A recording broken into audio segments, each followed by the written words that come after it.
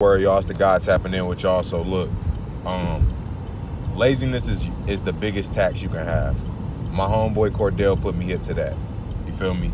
Being lazy is the biggest tax on your life. It's the biggest tax on your income, and it only hurts you. And I want y'all to understand why doing things in the moment is very important because um, it's no better time to do things than the now. When you when you do something now, you avoid being inconvenienced later. You think that it feels right not doing it now because you just want to chill or you just want to relax.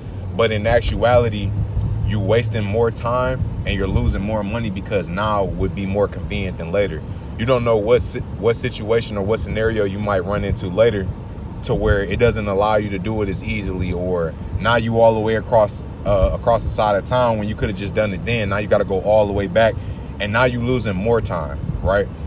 Uh, procrastination also gives you a sense of anxiety making you not want to do anything. And when you start doing something, now you don't feel like doing it because you're thinking about all of the other stuff that you have to do ahead.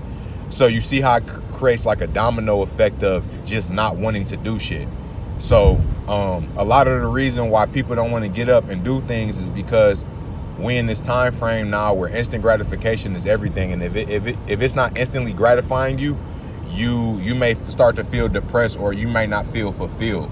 So when you're doing something you keep going back to your phone because you can't focus on the task at hand it's because you you're so used to instant gratification that working hard and spending a lot of time in doing something doesn't interest you anymore because you're so used to a notification from a like or a text message or hearing a you know hearing all these notification sounds that trigger dopamine in your body because when you hear these notifications or you see a notification on Instagram or all these social media platforms, it releases a chemical called dopamine in your body, which is the hormone responsible for making you feel good. So, what you need to do is spend more time in doing something that isn't so instantly gratifying, like building a business, you know, something that takes maybe a couple years to do as opposed to a couple minutes or a couple weeks. All right, so Y'all do things in the moment. If it's something on your mind that you know you've been needing to do, whether it be fill out some paperwork, whether it be start your goals, do that shit right now because you you're depressed in your mind because you haven't reached this level yet, but you haven't completed the next step into achieving that goal. So until you achieve that, until you complete that next step, you're gonna feel like you're in this space of nothingness. But once you complete that, now you're on the road to your to your goal. You feel me?